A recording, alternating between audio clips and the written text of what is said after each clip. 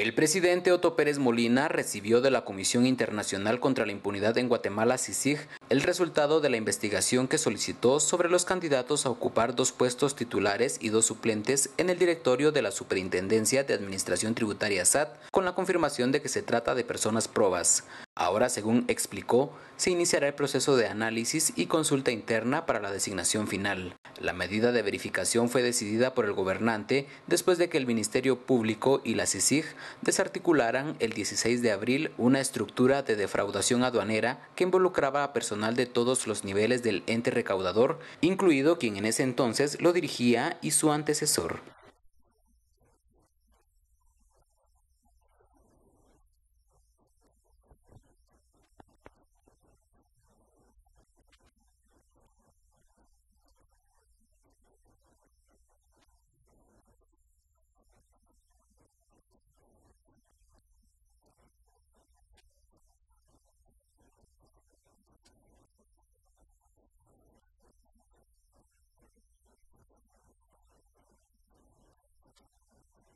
El 13 de abril, Carlos Alvarado, rector de la Universidad de San Carlos, quien preside la comisión de postulación, entregó al gobernante la lista con los nombres de los ocho aspirantes.